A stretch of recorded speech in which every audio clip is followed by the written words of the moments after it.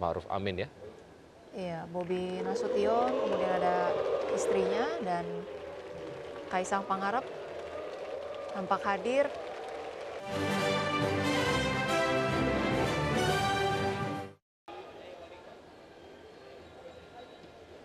Baik, putra dari Presiden Joko Widodo, Wakil Presiden terpilih, Gibran Rakabuming Raka, dan tadi didampingi oleh putra dari Presiden terpilih, Prabowo Subianto. Didit, tadi mereka kemudian berjalan beriringan ya, bersamaan. Iya. Ada kabar terbaru dari AHY ya, tadi sempat uh, menyampaikan bahwa kabarnya setelah pelantikan Presiden terpilih Prabowo Subianto, ini akan diumumkan susunan kabinet Hmm. begitu. Tapi kita akan lihat juga ya apakah betul sore ini, malam ini atau justru besok gitu ya. Betul. Secara pengumuman mungkin akan dilakukan dalam waktu dekat karena eh, nampaknya harus bekerja cepat begitu ya. Ya, Karena em, transisi sudah kemudian dilakukan, tinggal berlarinya saja begitu. Dan itu kan memang diperlukan kelengkapan-kelengkapan yang dapat mendukung. Salah satunya adalah menteri-menteri, wakil menteri yang akan membantu bekerjanya Prabowo Subianto sebagai Presiden Republik Indonesia di periode berikutnya.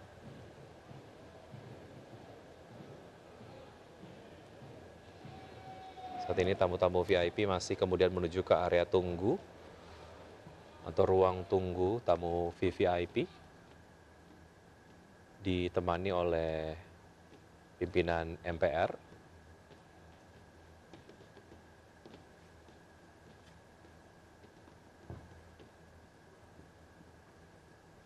Ya bicara mengenai uh, desain atau tema dari konsep desain acara ini adalah temanya memang tema hijau begitu ya. Hmm.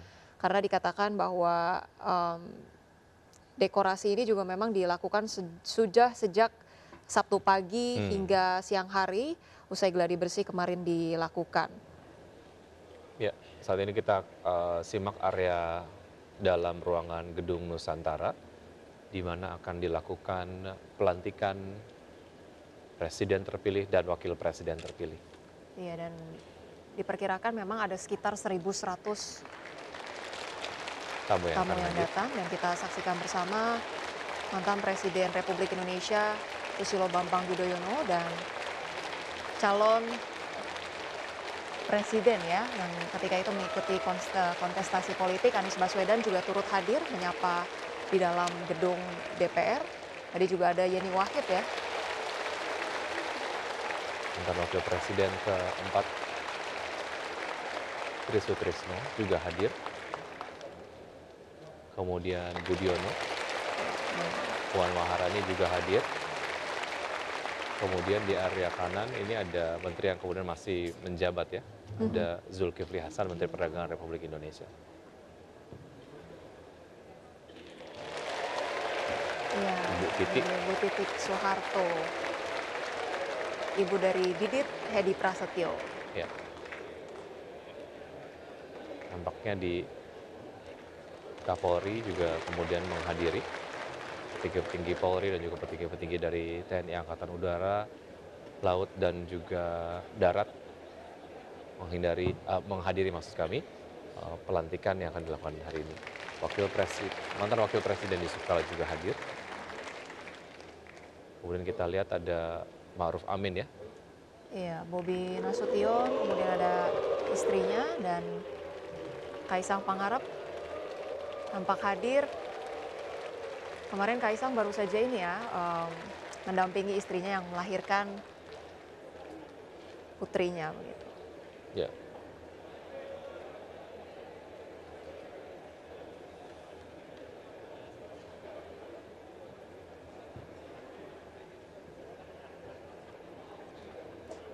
Ya, adapun susunan acara dalam pelantikan nanti akan dimulai dari menyanyikan lagu Indonesia Raya, eh, mengheningkan cipta, dan kemudian pembukaan sidang paripurna dimulai dengan dilanjutkan pengucapan Sumpah Presiden, kemudian penandatanganan berita acara pelantikan, penyerahan berita eh, acara pelantikan, kemudian ada pidato dari Presiden Republik Indonesia, eh, pembacaan doa, penutupan sidang, dan kembali menyanyikan lagu kebangsaan Indonesia Raya.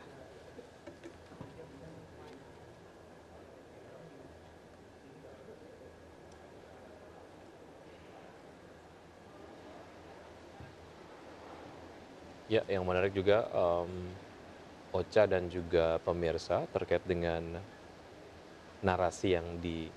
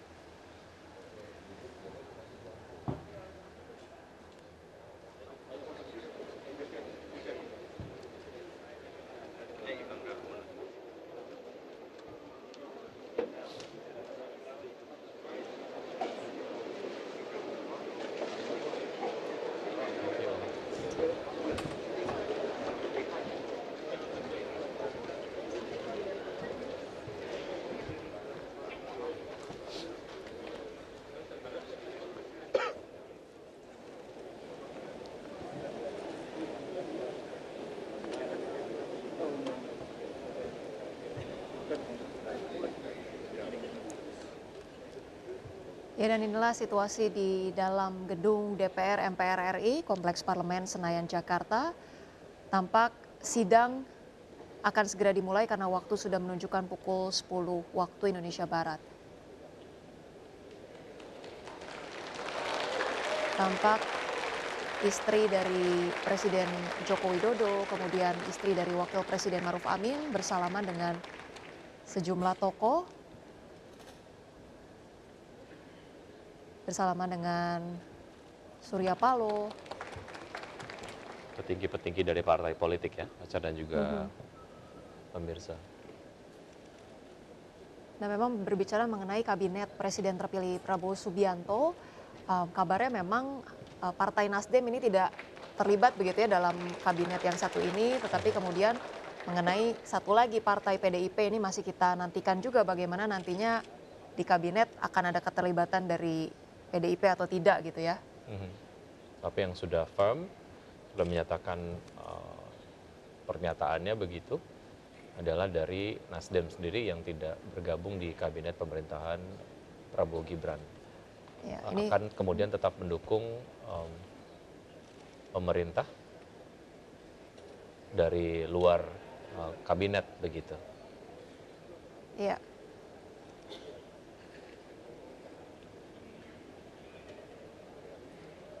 Masih kita saksikan bersama Ibu Iriana Joko Widodo bersama dengan mantan Presiden Susilo Bambang Yudhoyono.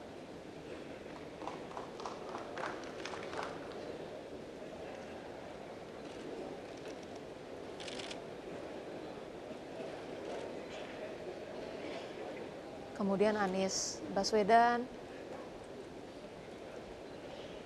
Tapi memang kita belum melihat eh, adanya eh, pasangan Ganjar dan juga Mahfud begitu ya, walaupun memang sebelumnya dikabarkan juga mendapatkan undangan Hmm, dari pelantikan ini.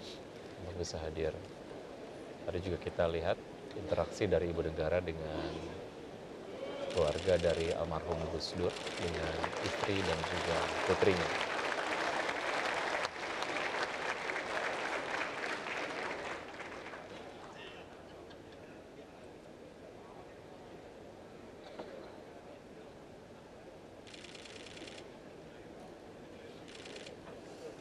Untuk dapat hadir di acara yang spesial yang satu ini tentu saja em, memerlukan persiapan yang baik juga begitu ya. Ini Iya. dapat dilihat dari berbagai macam outfit yang digunakan oleh Ya. undangan-undangan yang hadir pada kesempatan kali ini Iya dan tampak ini tiga, sekitar 33 kepala negara yang hadir. ataupun perwakilan ya. Mhm. Banyaknya tamu negara yang datang ini menunjukkan bagaimana terjalinnya hubungan yang baik antara Presiden terpilih Prabowo Subianto dengan negara-negara di kancah internasional.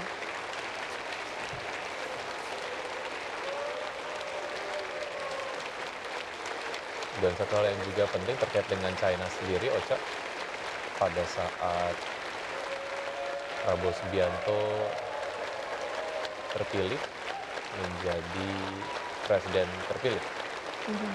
China menjadi sebuah negara pertama yang dikunjungi oleh Prabowo Subianto. Dan disampaikan oleh Hasim Joy Hadikusumo sendiri, Prabowo hmm. Subianto memang mengagumi yeah. um, China begitu bagaimana sebetulnya um, strategi-strategi ataupun mungkin berbagai macam kebijakan yang sudah dilakukan oleh pemerintah China sendiri untuk memastikan pertumbuhan ekonomi di sana. Iya, memang Prabowo sendiri menjalin hubungan yang cukup banyak, walaupun Indonesia sendiri merupakan negara non-blok, tapi kemudian hubungan dijalin uh, sangat baik begitu antara Indonesia dengan China, dengan Amerika Serikat, uh, maupun dengan Rusia begitu ya. Kalau kita ketahui bersama, kemarin yang tiba paling dahulu di Indonesia adalah uh, Perdana Menteri Rusia ya, yang diutus uh, untuk datang ke pelantikan. Dan ada sejumlah negara yang hadir, ini ada dari Qatar, kemudian dari Thailand, dari Australia, dari Rusia, Laos, Vietnam, kemudian dari Serbia, China, Kamboja, eh, Korea, Mesir, Turki tadi kita saksikan bersama, ada dari Kanada, Jepang, Yordania, kemudian Prancis dan Uni Emirat Arab datang untuk menyelamati dan merayakan pelantikan Presiden terpilih Prabowo Subianto hari ini.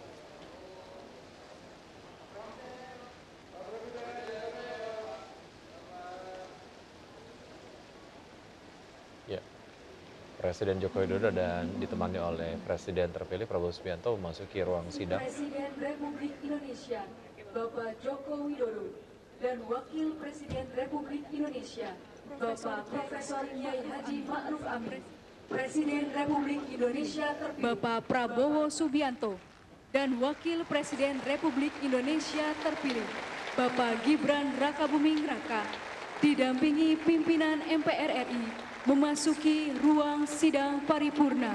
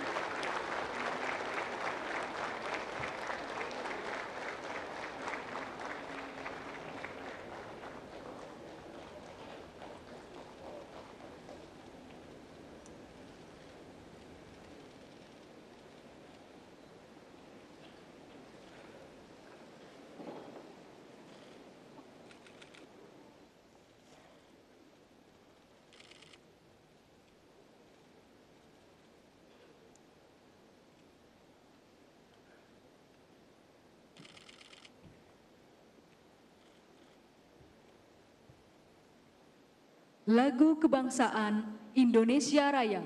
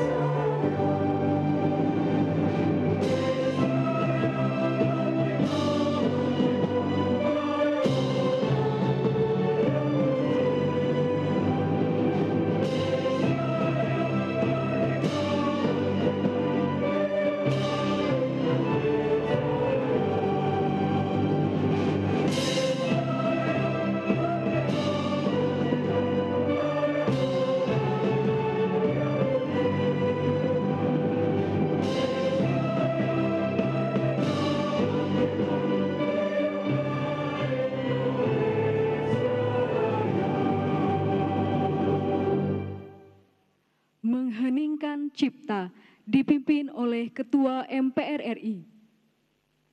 Marilah kita menundukkan kepala seraya berdoa kehadirat Allah Subhanahu wa taala, Tuhan yang Maha Kuasa. Semoga arwah para pahlawan bangsa yang telah mendahulu kita mendapatkan tempat terbaik dan semoga kita semua diberi kekuatan untuk melanjutkan perjuangannya, mengheningkan cipta mulai